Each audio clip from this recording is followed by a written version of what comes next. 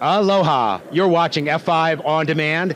I'm Technical Marketing Manager Peter Silva. We're here at the MGM Grand in Las Vegas for the IBM Pulse 2013 conference. If you're at the show, we're in booth E508. Please come by and visit us. And again, we have Nojan Moshiri. He's our solutions architect, right, Nojan? That's right. That's right. For our IBM partnership. Software partnership. Software partnership. And so recently there was uh, integration with our Big IP Application Security Manager and IBM's, I'm going to cheat here, InfoSphere Guardium, and it's a security solution with IBM, right? That's correct. And so I thought it would be cool to get a little deeper dive into how the InfoSphere Guardium integrates with our Big IP Application Security Manager. And so first, can you tell us a little bit about IBM's Guardium and what it does? Yeah, so uh, Guardium is a database security product. It sits between app servers and the database. Now, you can capture the actual data traffic in a number of different ways. There could be a kernel module, a kernel tap as they call it, or there could be an S-tap that goes in there. In either case, the idea is that Guardium is getting all of the data that's transferring between your app servers and the database. Okay. And then they're analyzing that and then blocking it the piece that has been missing has been front-end context about the users that are coming into the site. So if you imagine a standard three-tier deployment, you have web servers, app servers, database. Guardium is operating at that app server database layer. They don't have a lot of introspection into what's going on in the front. Got it. So F5 and IBM partnered last year, and with the release of Guardium version 9 and Big IP version 11.3, we now have a real-time link between the two products. And so what you're talking about uh, is is the the Guardium will will block the attack, will block the, or, or protect against vulnerabilities, block the attack.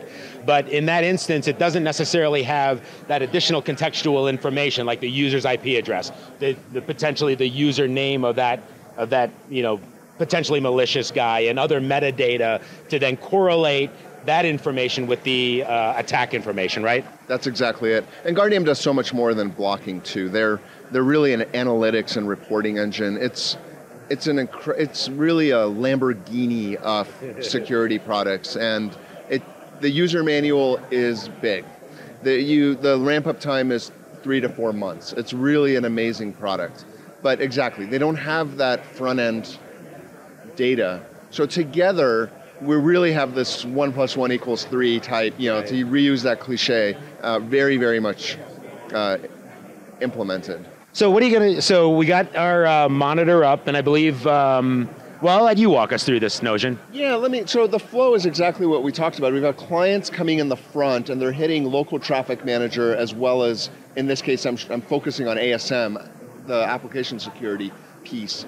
Now they're load balanced to whatever app they go to. In this case, I'm using Maximo because we're at the Maximo show. At the same time that the data is going through Maximo and doing all the database requests, two other things are happening.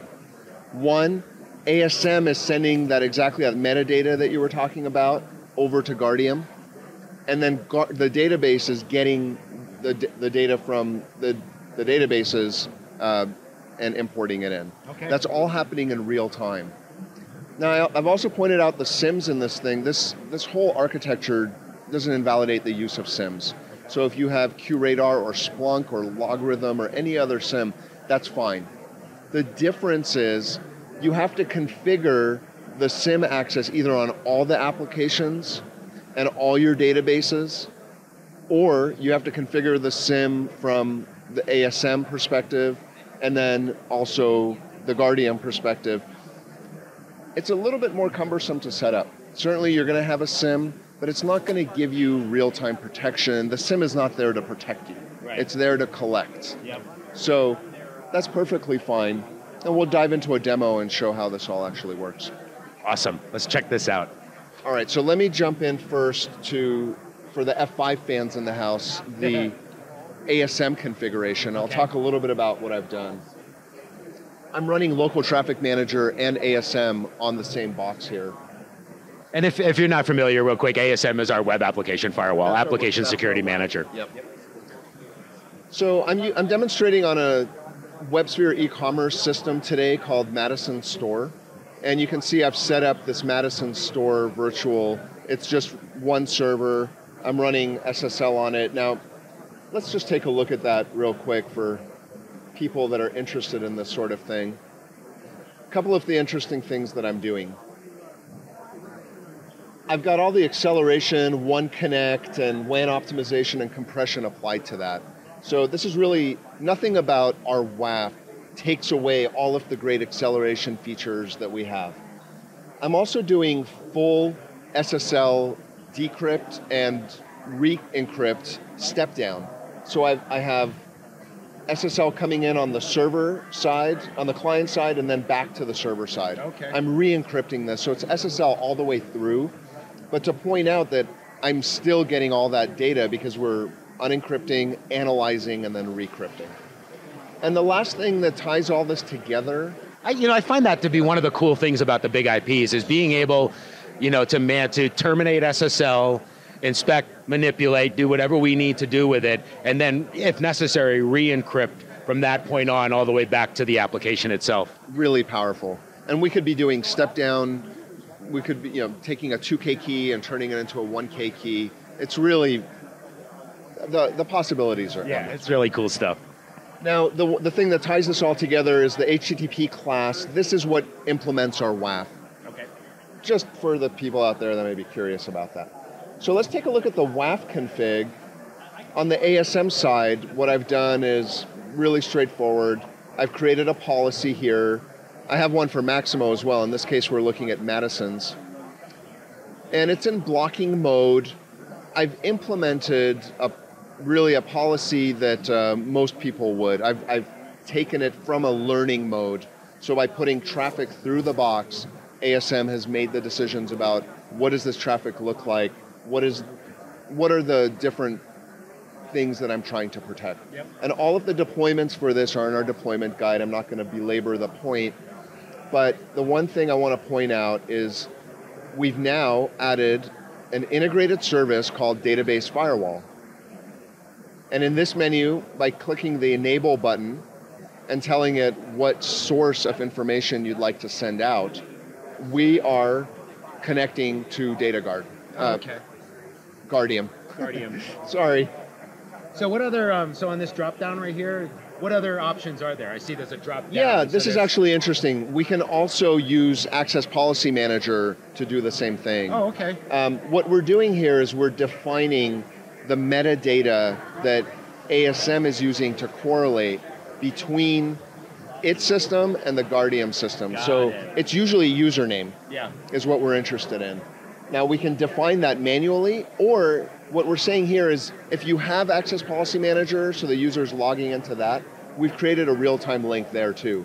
We're just going to take the username and session ID from APM and send it to Guardium directly. Got so it. you don't have to figure all that out. Right, right. It makes it really easy. Otherwise, you have to do a little bit of manual work to figure that out yourself. Yeah, so if you, if you already got it, we're just, hey, just grab those two things and ship it over. Exactly. Got it. Um, We'll, we'll talk here as well. In our database firewall in the integrated services menu, this is where I'm defining Guardium. So the IP address or the load balance, if I'm load balancing Guardium, that's where I would put it in, the port, and then some timeout values. So this creates the TCP connection between the two hosts. Oh, And all of this is new in version 11.3. So let's jump over and take a look at it from the Guardium perspective. Now, uh, Guardium has a system map. This is the system view that you see when you log into Guardium. For those of you that may not be familiar with it, so I've, these are the sources that are feeding data into Guardium. Okay. And you can see right now I've got the big IP shows up.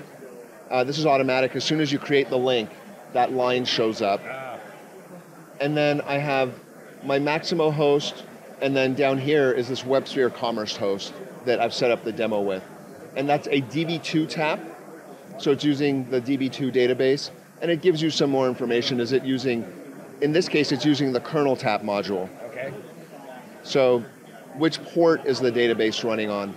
And then down here, you get some performance statistics, the big IP coming in, the STAP in- inspection engines coming in, and how many actual packets have we captured. Ah, So nice little overview, but this is really the complete surface of what this tool can do. And do the, I mean, obviously the colors mean something up here? Yeah, the, my, my DB2 host is right now synchronizing. Okay. These two hosts are offline. These are demos I'd set up that I've abandoned. And the two that are green are active and communicating Got right it. now. Nice. Yeah, good question. So let's take a look at what this would look like in a, from a user perspective. This is that demo site I've set up, the Yep. Madison demo store. And I'll go ahead and sign out here. So a user comes in and they're going to log in. Oops.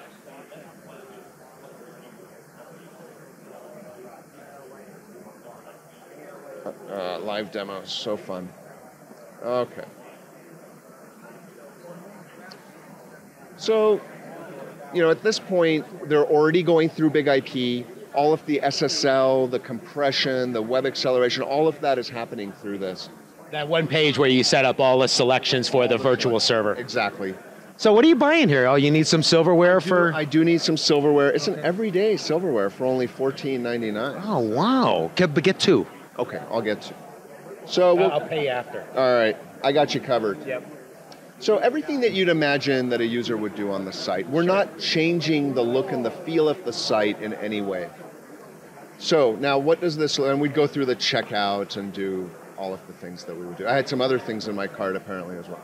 So now what does this look like on the Guardium side? I've set up some reports. The power of Guardium is in this reporting. Okay. So we'll go through, and I've now I've run the Guardium demo report uh, that's giving me a full list of information, sorting it by time, and here we are. So this is the transaction that I just took.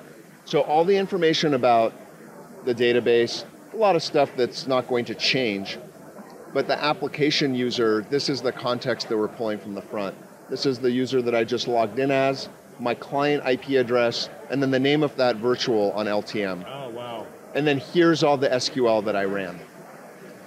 Now, of course, it's gobbledygook to you and I, but when you have an attack or when you're trying to figure out a user has compromised your system, what did they do? Right. Now you have a record of that front end user and every single statement that they ran. Of course, this could be a great troubleshooting tool. It could, for a number of different purposes, right? And it doesn't. Yeah, right. It doesn't necessarily have to be based on an attack or something bad occurring. It's it's really all about gathering that information, good or bad, and then being able to understand it better. Exactly, exactly. So quite powerful. Um, the, the reporting that you can set up with Guardium is really, I think you could get a PhD in this. so it, it really runs the gamut. You can set alerts, triggers. You know, if a particular user is accessing a particular set of SQL that they shouldn't be, maybe this is a read-only system. There's never to be, you, you know, we see select, select, select. Maybe there should never be an insert by a non-privileged user. We can set a trigger to go off on that. And then and then does the does the um, does the policy then get updated right there and then once we send send the information back? Um, the policy gets updated on Guardium. Got it. Okay. Yes. So that's Wow. This is great stuff. And so for, for businesses, it just makes makes this entire the troubleshooting, if they have this in place, all of this metadata, all of the contextual information to then match up with this, the SQL statements, right? Yeah, exactly. And I, from a deployment perspective, one thing that really excites me is that you don't have to deploy these things together. Both our products are very sophisticated, complicated tools. You can have local traffic manager there already, probably already do. You can bring on ASM. You can deploy Guardium. When you're ready, you can link the two of them together. All of them are going to bring all their full value before you do that. Once you hook them up together, the sum is going to be greater than the parts. Wow. And I believe I, I actually, you know, when I was cheating earlier, Yeah. So we do have, um, so we got a white paper We have a white paper. off the website and, uh, and a deployment guide. The deployment guide gives you step by step how to deploy it both on. Oh, sorry. Uh, I'm sorry. The deployment guide gives you step by step how to deploy it on our side as well as the Guardium side. There's you have to do some configuration on there, of course, and it's all documented in there. Great stuff, Nojan. Thank. Thanks for joining us again today. So there you have it.